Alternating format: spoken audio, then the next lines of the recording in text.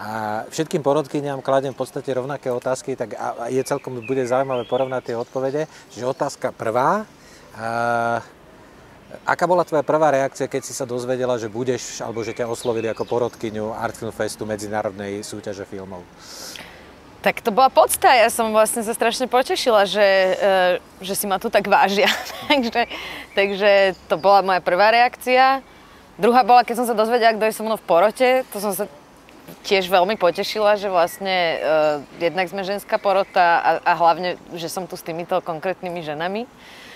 Uh, no a potom to už len bolo o logistike, nájsť si ten čas a prísť sem a nemať inú prácu a naozaj sa ponoriť uh, do tých filmov bez toho, aby som riešila niečo iné. Čo sa podarilo, takže sa teším. Dohodli ste si už nejaký systém rozhodovania, alebo to necháte až vlastne na dobu, kedy si pozrieš, alebo každá z vás si pozrie všetkých 9 filmov?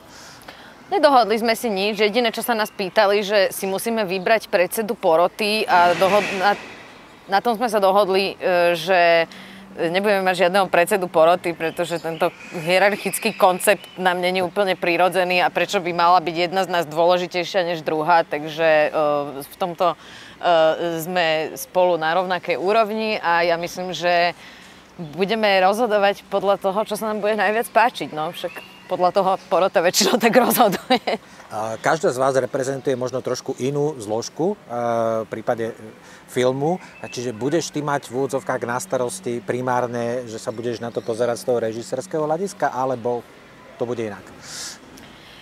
Tak samozrejme, človeku je to prirodzené uh, pozerať sa na to svoje povolanie alebo hodnotiť aj to, ale ja mám, neviem, ja, ja nerada sa na to pozerám takto odborne, pretože podľa mňa filmy by sa mali hodnotiť ako divácky zážitok človeka, je jedno koho, lebo tie filmy nie sú točené pre odbornú verejnosť, ale pre ľudí a tak k ním pristupujem. Ja dokonca o tých filmoch ani nechcem nič vedieť moc dopredu a tým pádom sa nechám radšej strhnúť tým, čo tam zažijem a to, čo bude najsilnejšie, s tým prídem na stôl a potom sa budeme s babami o tom baviť, že čo, čo vlastne, na čom sa zhodujeme.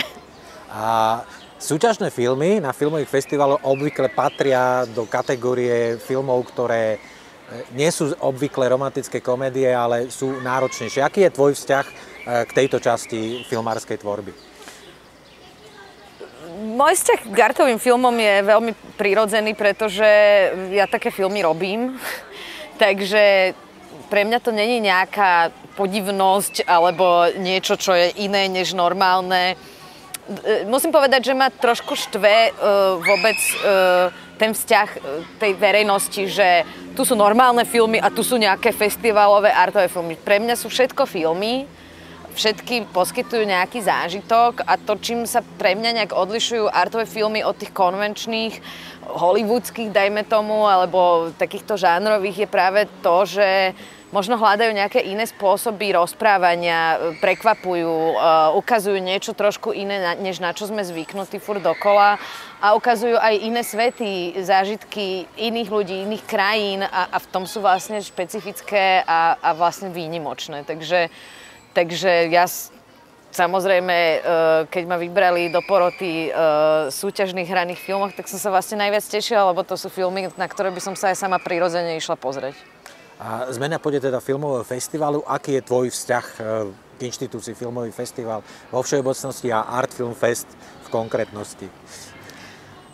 Tak pre mňa filmové festivaly uh, sú veľmi dôležité životne, pretože tým, že robím filmy, aké robím a som z malej krajiny, tak vlastne tu sa nemôžeme baviť o nejakom veľkom biznise uh, z mojich filmov, ale bavíme sa o tom práve, na aký festival uh, ten film bude prijatý, ako bude cestovať a od toho sa potom aj odvíja ten život toho filmu v tom svete. A tým, že ja sa snažím robiť filmy, ktoré nie sú len pre Slovensko, ale možno hovoria nejak univerzálne hociakým ľuďom, tak tie festivaly sú dôležité. To je taká moja osobná vec. Ale o, čo sa týka vzťahu mňa ako normálneho človeka, tak ja vlastne som na filmových festivaloch vyrastla, mám ich strašne rada. Strašne ma vlastne teší to, že že to nie je také, že večer ideme do kina, ale že vlastne celý deň ideme do kina, že, sa, že, že, sa, že tak skáčem z jedného sveta do druhého, z jedného človeka do druhého, lebo ja som taká veľmi empatická, takže vlastne to všetko strašne prežívam e, s tými postavami a, a, a, a to, ma, to ma strašne baví na tom. Takže, takže milujem filmové festivály, som rada, že konečne to zase začalo. No. A všetky tri porodkyne ste aktívne vo svojich profesiách. Čo chystáš do najbližšej aj ďalšej budúcnosti? Uh, no tak ja som minulý rok uh, natočila film uh, v lete s Natáliou Germány v hlavnej postave, takže, takže to je super, že tu takto sme zase spolu v lete.